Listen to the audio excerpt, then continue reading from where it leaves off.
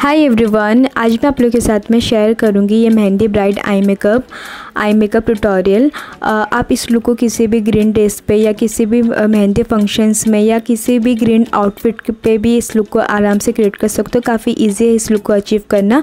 तो आज से मैं अपने चैनल पे वेडिंग सीरीज़ स्टार्ट करने वाली हूँ। हर दिन अलग अलग आपको नए नए लुक देखने को मिलेंगे।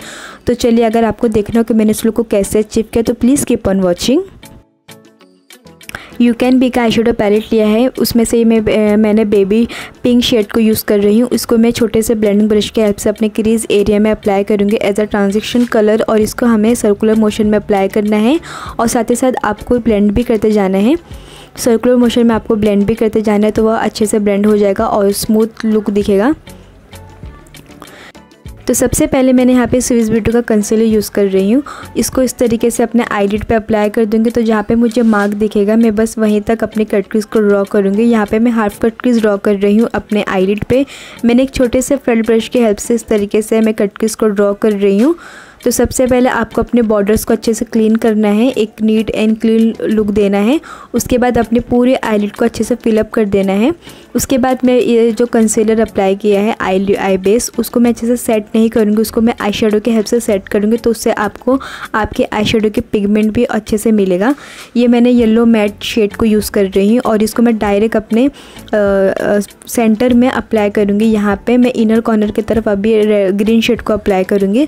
तो सबसे पहले हम यहाँ पे येलो शेड अप्लाई करेंगे तो इस तरीके से आपको काफ़ी पिगमेंट मिलता है अपने आई एरिया पे। फिर इसमें से ये मैंने ग्रीन शेड को यूज़ कर रही हूँ, ये डार्क ग्रीन शेड है, और इसको भी मैं सेम ब्रश की हेल्प से इस तरीके से अपने इनर कॉर्नर की तरफ़ अप्लाई करूँगी। तो आप देख सकते हो कि वेट बेस पे कितना पिगमेंट आ रहा है। अगर आपको शेमर अप्लाई करना है तो आपको अपने पहले बेस को सेट करने के बाद में वो शेमर अप्लाई करना। उसके बाद मैंने यहाँ पे दोनों आई को अच्छे से मैं मर्ज कर दूँगी, ताकि कोई भी अलग अलग लुक ना दिखे। उसके बाद यहाँ पे मैंने ब्लैक आई शेडो को यूज़ कर रही हूँ, अपने आउटर कॉर्नर पे अप्लाई करूँगी डेप देने के लिए। उसके बाद छोटे से ब्लेंडिंग ब्रश की हेल्प से इसको अच्छे से ब्लेंड कर दूँगी, अपने आउटर कॉर्नर पर मैं इसको अच्छे से ब्लेंड कर दूँगी। इस तरीके से आप देख सकते हो मैं कैसा ब्लेंड कर रही हूँ। फिर उसके बाद मैं ये तीनों शेड को आपस में अच्छे से मर्ज कर दूँगी, जो उसके कॉर्नर से उस दोनों को अच्छे से मर्ज कर दूँगी, ताकि वो अलग अलग आई ना दिखे, सब ब्लेंडिंग ब्लेंड दिखे। तो हमें इसको अच्छे से ब्लेंड आउट करना है। अगर ब्लेंड नहीं करेंगे तो वो काफ़ी गंदा लुक दिखता है।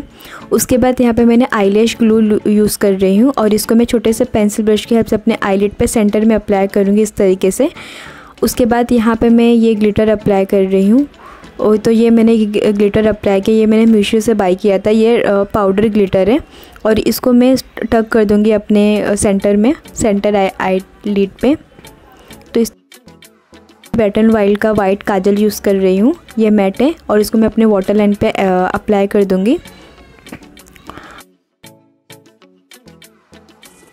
काजल अप्लाई करने के बाद में उसको मैं अच्छे से ब्लेंड कर दूँगी ब्लैक आई के हेल्प से अपने लोअर लैश लाइन पे। फिर उसके बाद यहाँ पे मैं आई बैंक का बैलेंस करने के लिए ग्रीन शेड को भी अप्लाई करूँगी। फिर अब मैं ये बहुत ही थिन ब्रश है, ये पेंसिल ब्रश है, बहुत ही पतला ब्रश है। इसके हेल्प से मैं ब्लैक आई शेडो को लूँगी और इसको मैं अपने eye as a eyeliner apply कर रही हूँ। तो ये मैं एक रफली सा स्मज आईलाइनर यहाँ पर ड्रॉ कर रही हूँ ब्लैक आई शेडो के हेल्प से।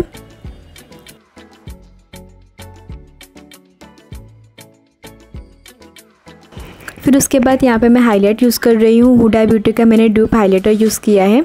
इसको मैं अच्छे से हाईलाइट कर दूँगी अपने ब्रॉ बोन को और अपने इनर कॉर्नर को काफ़ी अच्छे से मैं हाईलाइट करूँगी। हाईलाइट करने से आपका आई मेकअप काफ़ी उठ के दिखता है और भी एनहेंस होता है और भी अट्रैक्टिव दिखता है। उसके बाद यहाँ पे मैंने मेब्रिन का मस्कारा यूज़ कर रही हूँ। उसको मैं अपने अपर लैश पर लोअर लैश पर मस्कारे की अच्छे से कोटिंग कर दूँगी मैं। उसके बाद यहाँ पे मैं फॉल्स आई लैश भी अप्लाई कर दूँगी। तो यहाँ पे मैंने रेड चेरी का फॉल्स आईलैश मैंने अप्लाई करती हूँ मेरे हर, अपने आई मेकअप में। तो बस यहाँ पे ये लुक कंप्लीट होता है। आई होप कि आपको ये वीडियो ज़रूर पसंद आया होगा। आज का ये ट्यूटोरियल पसंद आया होगा। अगर वीडियो पसंद आए तो इस वीडियो को लाइक करिए और कमेंट करके मुझे बताइए कि आपको ये लुक कैसा लगा और मेरे चैनल को सब्सक्राइब भी कर देना। तो मैं आपसे मिलती हूँ अपने नेक्स्ट वीडियो में। तब तक के लिए till then take care and bye